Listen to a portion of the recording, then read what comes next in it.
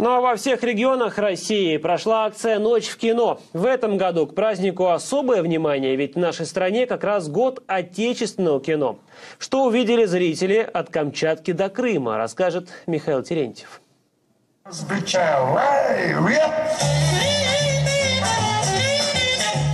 кино шагает по стране. Вот так миниатюрами из легендарной Гайдаевской бриллиантовой руки началась новая всероссийская акция в самом восточном регионе России. В Петропавловске-Камчатском развернули сразу три площадки, где, начиная с вечера, показывали лучшие отечественные фильмы. Все вместе, все в едином порыве смотрят выбранные всенародным голосованием любые, любимые фильмы. Выбор пал не только на классику советского кинематографа. «Легенда 17» и «Батальон» возглавили список желаемых лент. Солидарность в выборе продемонстрировали жители Башкирии. Эти картины также оказались в шорт-листе. Показы в Уфе проходили в Центральном парке города, а открывали программу «Ночи» мультипликационные фильмы местного производства студии «Башкортостан».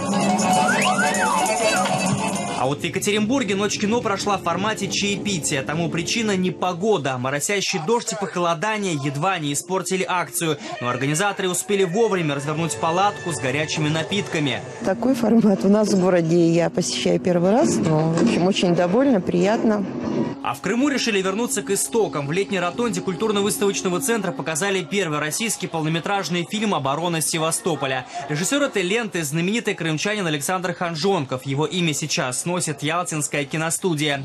Этой ночью зала заполняли зрителями разных поколений. Для самых маленьких – последние серии «Смешариков», для взрослых – новинки российского кинопроизводства. Акция ведь она нацелена на то, чтобы привлечь зрителя, э, прежде всего, к отечественному кино.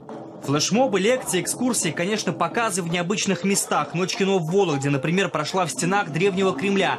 В целом, первая всероссийская акция показала себя как событие мультикультурное. В общей сложности по всей стране кинозалы собрали тысячи зрителей. Сотни отзывов в социальных сетях лишь убедили организаторов. Формат себя оправдал. Возможно, теперь эта ночь кино станет ежегодной.